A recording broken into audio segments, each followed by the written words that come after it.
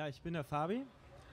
Und der Ursprung, warum ich jetzt hier stehe, war die Idee von mir, irgendwie ähm, vor den Pressezentralen deutschlandweit zentriert, also konzentriert an einem Tag aufzutreten und unseren Frust loszuwerden und unsere Ohnmacht loszuwerden und unsere Gefühle zu verarbeiten. Also mir geht so, ne, wenn ich mich irgendwie noch auf Mainstream-Presse irgendwas einlasse, ja, die, die, die, ich krieg Hirnkrämpfe, ich, ich, ich ertrage das nicht. Ja? Das ist so eine verzerrte Darstellung von allem. Und auch, ich kann das nur beschreiben, als ich mal wiederkam aus einer Bergkommune und da eine Zeit lang gelebt habe.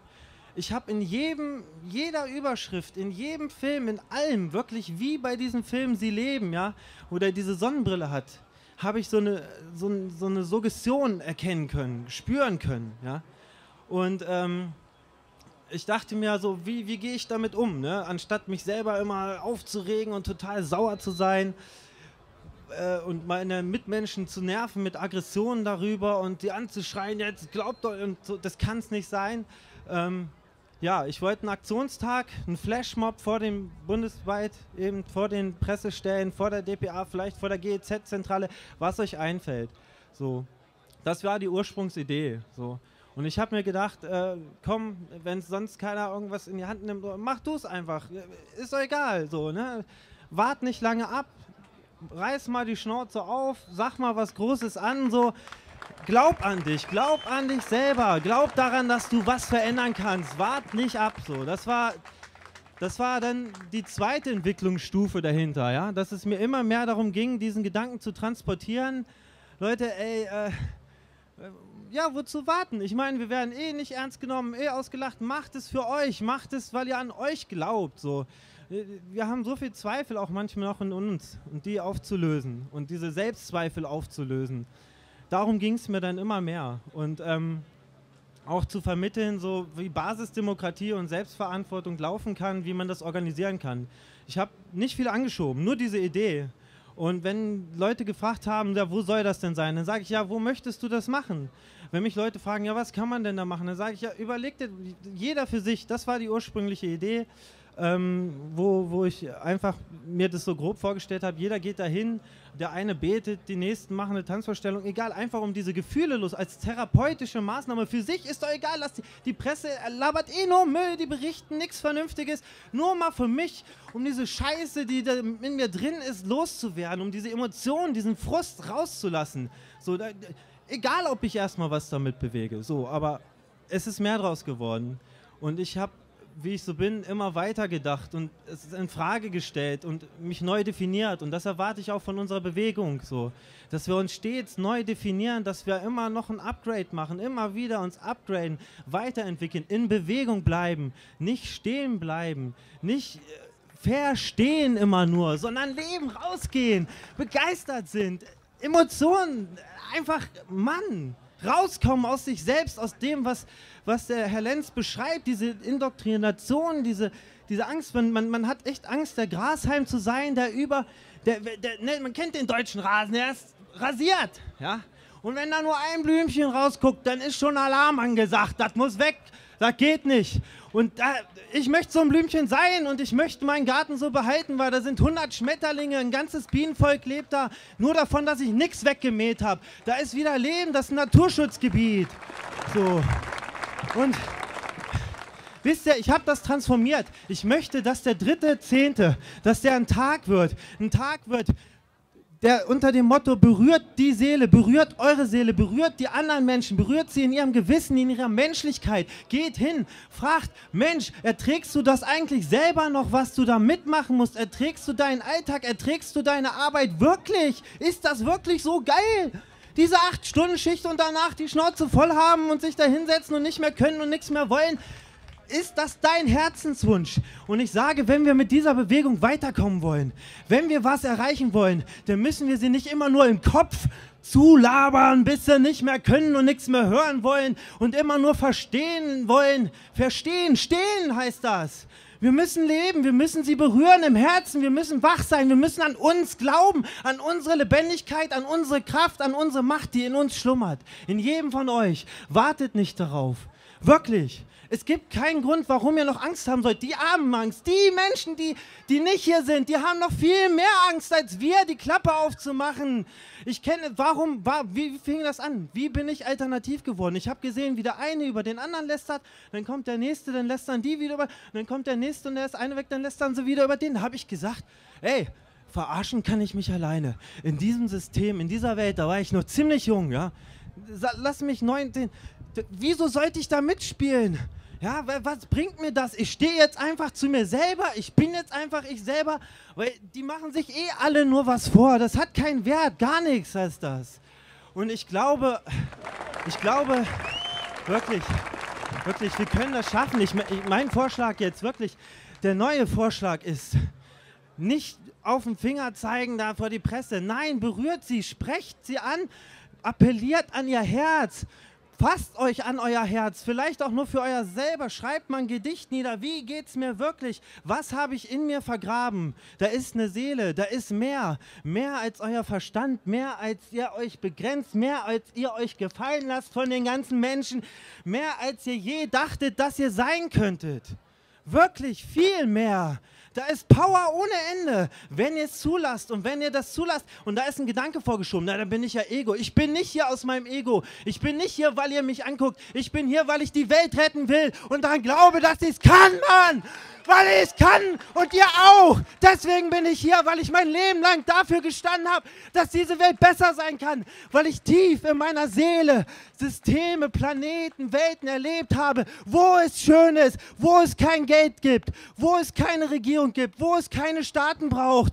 Das sollte unser Ziel sein wirklich ein Licht am Horizont. Am Ende dieses Tunnels muss eine echte Vision, eine echte Utopie stehen. Ein wirklicher Glauben, eine völlige Neudefinierung der Menschheit. Eine völlige Neudefinierung, was Menschen sein können, warum sie so sind. Schluss mit der Erbsünde, Schluss mit dem Schwachsinn, dass mein kleines Baby auf die Welt kommt und schon von vornherein nur Scheiße im Kopf hat. Das ist Blödsinn. Wir sind wegen diesem System so geworden.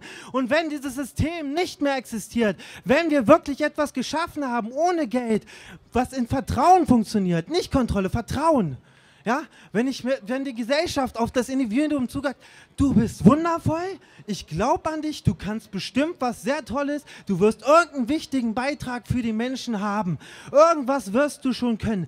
Das wollen wir rausfinden, wir helfen dir, das rauszufinden und wir geben dir alle Macht, das zu entwickeln. Was meint ihr, was für Talente, was für Fähigkeiten in uns schlummern und warum die unterdrückt werden? Warum werden sie unterdrückt?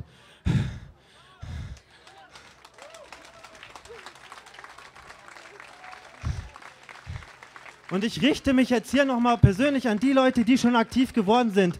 Definiert euch jeden Tag neu.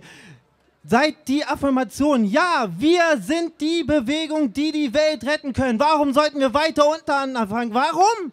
Wozu sollten wir uns Angst machen? Warum sollten wir ständig zweifeln, dass es, dass es Größenwahn? Nein, die Leute, die uns regieren, die erliegen den Größenwahn, weil die denken, sie könnten alleine für uns, weil sie klüger sind, alles entscheiden und beherrschen und uns leiten im Wohl und uns reduzieren oder sonst was, damit wir uns nicht so wehtun gegenseitig. Blödsinn. Die letzte Vision und die letzte Utopie, die nur funktionieren kann, ist, dass jeder, jeder einen Kontakt zu seinem Herzen, zu seiner Liebe, zu seiner Seele schafft.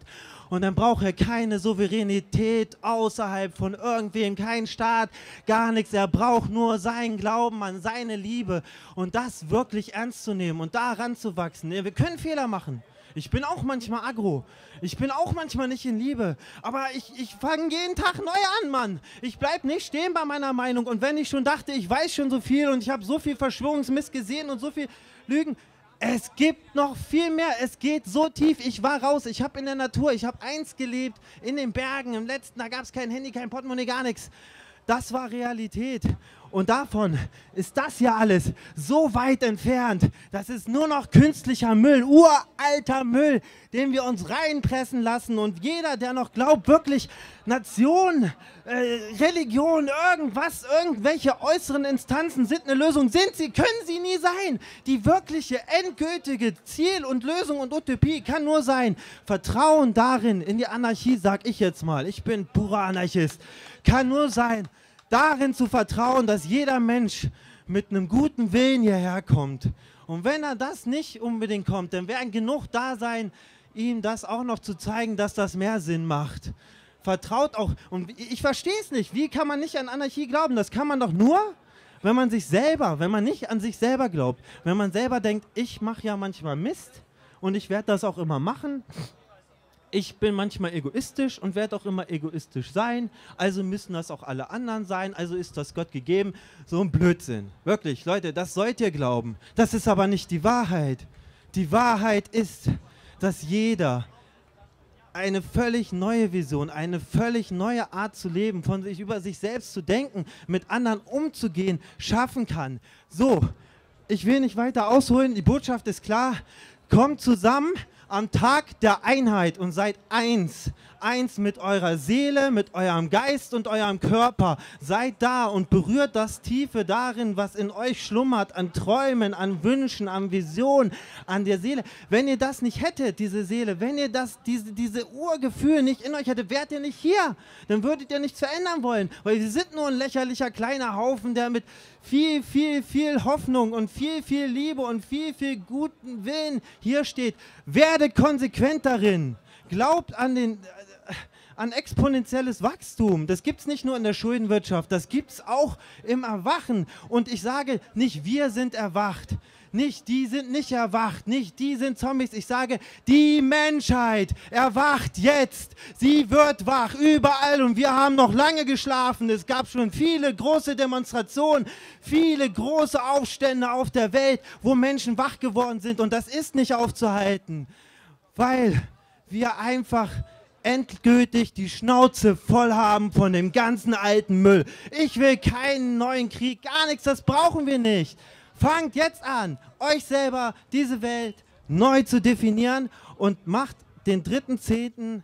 zum Tag der Einheit, zum Tag nicht der Einheit von Deutschland, sondern von der Einheit von östlicher und westlicher Denkweise, von einem hohen Verstand, ein sehr gutes analytisches, kritisches Verständnis, aber auch von der Seele, von den Gefühlen, von den Wissenheiten, Wissenschaften der östlichen Tradition, wie Ost und West damals zusammengekommen ist, soll das endgültig die Zusammenkunft sein. Und das ist auch diese Bewegung und deswegen ist es die Bewegung, weil sie beides zusammenfasst. Das innere Wachstum, die innere Kraft und das äußere Wirken. Lasst das ein Tag sein, an dem ihr eure Seele berührt.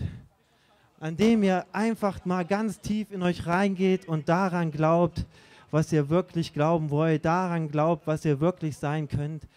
Oder erinnert die anderen Menschen, dass sie sich was vormachen. Berührt sie, fragt sie, wie geht es dir wirklich? Sag mal, wie geht es dir? Nicht keine Ausreden, gar nichts. Wirklich. Und alles andere sind nur Ausreden. So.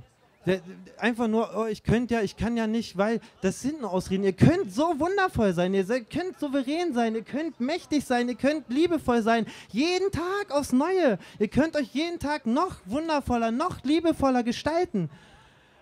Macht es einfach, glaubt daran. Alles andere sind dumme, blöde Ausreden, die sie euch beigebracht haben. Tschüss damit. So, also nochmal. Zehnt, dritt, zwei, dritte, zehnte Tag der Einheit, Tag der Einheit von der linken Gehirnhälfte und der rechten Gehirnhälfte, vom Hören, Herz, Verstand, Liebe, von allem.